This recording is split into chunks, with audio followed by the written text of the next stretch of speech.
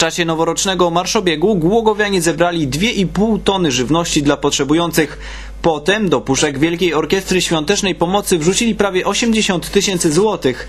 I kolejny przykład zbiórki na szczytny cel. 37 tysięcy złotych na zakup kardiogramu na oddział dziecięcy Głogowskiego Szpitala. Tu na balu charytatywnym posłanki Ewy Drost wstępem były wielkie serca i wypchane portfele, bo cel był jeden – zakup kardiogramu, na który potrzebne było minimum 15 tysięcy złotych.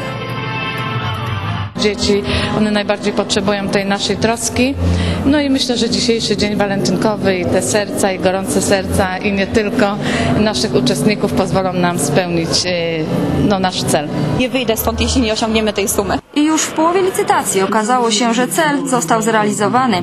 Piłka i koszulka z autografami polskich szczypiornistów została wylicytowana za bagatela 2300 złotych. Może nie pieniądze grają tutaj największą rolę, y, natomiast y, cel jest bardzo szczytny. Y, Jestem dyrektorem szpitala Głogowskiego i, i chciałem też dołożyć swoje pieniądze.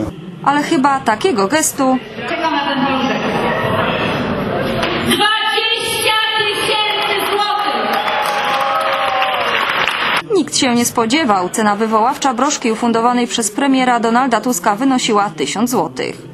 Oczywiście pieniądze nie były małe, natomiast myślę, że w tym akurat y, nie liczą się pieniądze, tylko liczy się cel. Jestem szalenie wzruszony tym, jak, jak to właśnie społeczeństwo, przedstawiciele tego społeczeństwa tutaj wyrażają swoją hojność dla tego szpitala.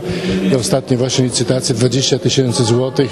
Jestem też pełen, pełen podziwu y, i myślę, że to nie koniec tych emocji. Nie koniec, bo licytowano jeszcze kilka gadżetów. Łącznie na balu zebrano 37 tysięcy, a to wystarczy na więcej niż jeden kardiogram.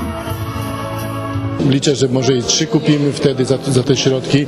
Będą potrzebne na inne oddziały, na oddziały na przykład chirurgii dziecięcej, gdzie też to jest potrzebne. Więcej o balu, licytacji i licytujących w programie jeszcze w tym tygodniu.